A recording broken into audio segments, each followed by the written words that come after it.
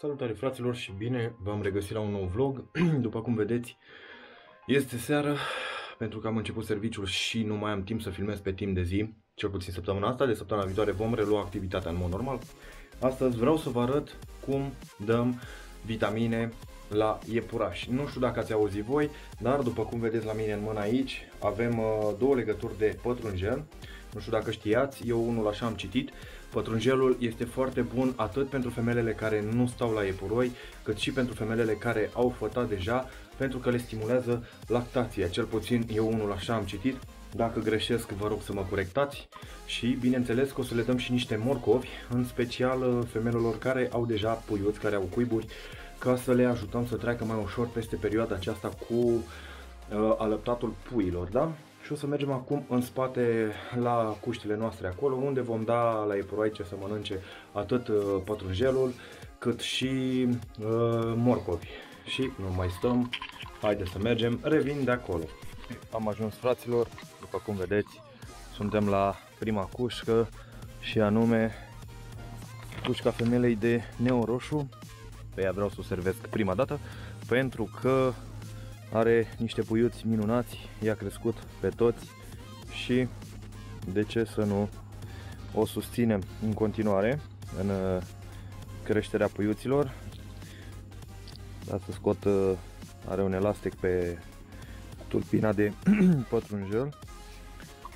Să-l dau afară și să-i dăm femeluței să pape pătrunjel. Vedeți și voi aici, da? Deci pătrunjelul este foarte bun. O să vedeți că îl papăm. Pătrunjelul este foarte bun pentru, pentru iepurași. La fel și merele. Puteți să, să le dați și morcovi, da? Uh, sfecla roșie, iarăși este foarte bună pentru iepurași. Acum totul depinde de voi ce o să dați să mănânce. Uh, are un pic de mizerie, o să-i fac mâine curat o lăsăm și vedem că s-a apucat imediat de pătrunjel, după cum vedeți și voi, da? Vedem că mănâncă pătrunjel. Este foarte bine să-i dați din când în când cât o, cât o legătură din asta de pătrunjel verde. Pătrunjelul este foarte bun, am spus. Îi stimulează foarte bine pe ei. Și nu numai când dați femelele la montă, Pătrunjelul este foarte bun, ați văzut că și noi îl punem în mâncare. Deci este foarte, foarte ok. Îi dăm și la masculașul nostru. Date mai încolo să-ți dau și ție un morcovier, nu vrei? Ia. Îi dăm și lui să pape un morcovel. Și mai avem jos femela de californian, îi dăm și un morcov. Am început să le am început să le dau mai des uh, morcovi, pătrunjel și mere. Uitați aici cum papă femeluța. Este călare pe pătrunjel.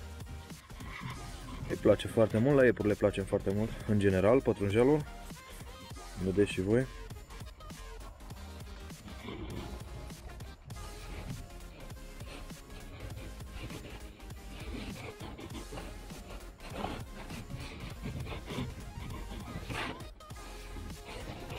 Da? Deci este foarte bun pătrunjelul să dați la iepuraș. Este bogat în vitamine. Mergem și pe partea cealaltă pentru că avem și cealaltă femeluță de hicole cu puii ei. La fel cărei vom da și iepurașul acesta din păcate el nu prea mănâncă morcovi, o să revin la el.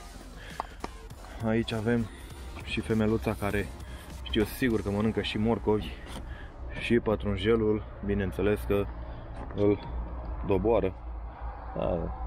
Da, hai mama. Ce-mi place de ea e că nu și-a mai făcut nevoile în, în uh, fătătoare acolo. Deci nu și-a mai făcut nevoile în fătătoare. Avem puiuții acolo, sunt foarte mari. Nu știu dacă la puiuții de neozelandezi dă, le dă să, să mănânce. Nu mi se par așa foarte, foarte bine dezvoltați. Da? Vedem aici, îi dăm și ei pătrunjelul și îl rupem două, după cum vedeți. Îi place și ei foarte, foarte mult. Foarte, foarte mult îi place pătrunjelul. Da? Aici le-am mai pus eu uh, paie și mititei sunt în, uh, în cuib aici. Da?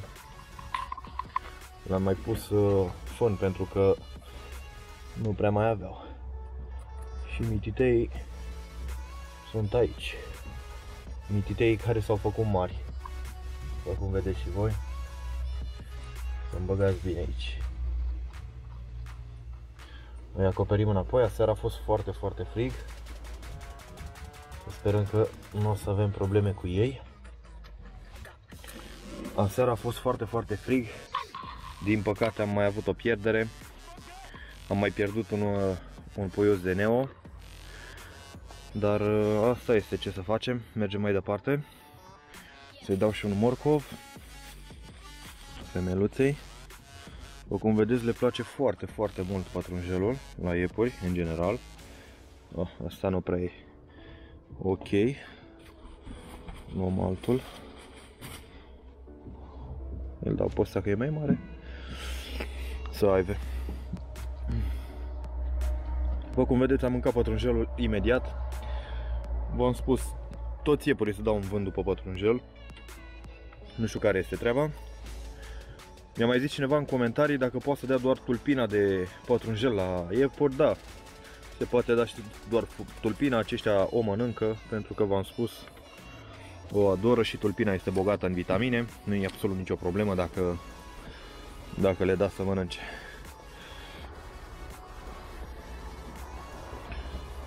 Așa.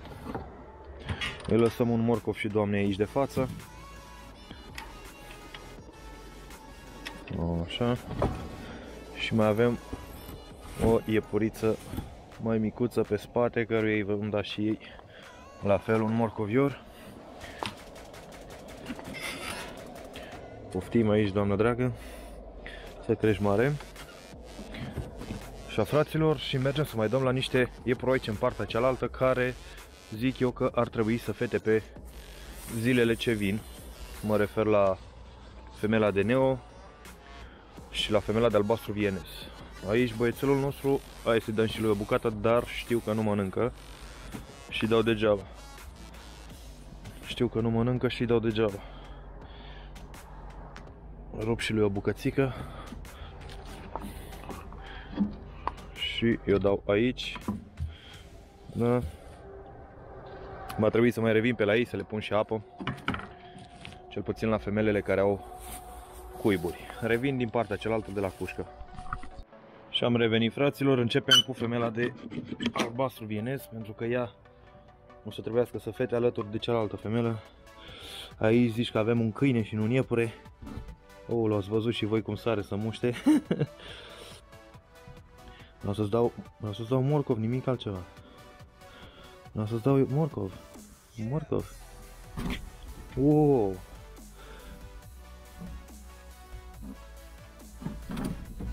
Ia morcov, mamă. Foarte agresivă femela. Foarte agresivă. Nu ne mai permitem să băgăm mâna la ea. Am băgat astăzi mâna la ea și m-a mușcat inclusiv prin hanorac. Este foarte iurea. M-a mușcat inclusiv prin hanorac. Aici avem femela de neo care este blândă. Prin felul ei de a fi. Este foarte blândă această femelă. Una din femelele care trebuie să fete, are o burtă foarte mare. Ne așteptăm la cât mai mulți puiuți și bineînțeles să-i crească, să fie sănătoși. Da, vedem aici că avem cealaltă femelă de neo care a fătat și din păcate nu am avut un cuib reușit cu ea, dar nu e nicio problemă, a fost la prima fătare. Avem timp să, să scoatem în continuare cuiburi cu ea nu ne stresăm. Da? Dăm și acelei femele o bucată ca lumea de morcovior. Hai de aici. Hai la morcovi. Hai la morcovi. Iese ea afară să mănânce. Și nu în ultimul rând, avem băieții, să nu uităm și băieții foarte mult nămol la noi aici pentru că a plouat și s-a făcut foarte mult nămol. Să nu uităm băieții. Op, așa. La cel mai de seamă masculaș al meu îi voi da cea mai mare bucată pentru că el a făcut cea mai multă treabă sezonul acesta. Am montat cele mai multe femele și la celălalt îi dăm și lui ceva micuț acolo să nu zică că am trecut și n-am dat și pe la el. Ia tata. Ia. Da. Nu uitați că puteți să le dați, după cum am spus, și mere, morcovi, pătrunjel și absolut tot ce conține vitamine, sfeclă roșie, e iarăși foarte bună. Da, nu încercați să le dați cartofi, nu încercați să le dați varză sau foi de varză crudă, nu este ok să le dați așa ceva pentru că iepurașii voștri se vor îmbolnăvi și vor muri de coccidioză. Se vor umfla în burtă pentru că sunt greu digerabile. Da, fraților, cam atât pentru astăzi. După cum ați văzut și voi, am făcut repede un tur al iepurașii. Merg să le dau apă de băut și cam atât pe ziua de astăzi. Va trebui să plec din nou la lucru. Sper eu să ne vedem pe mâine, poi mâine, iarăși cu noile cuiburi ale albastrii vieneze și ale iepuroicei de neozelandez alb. Vă salut fraților și numai bine!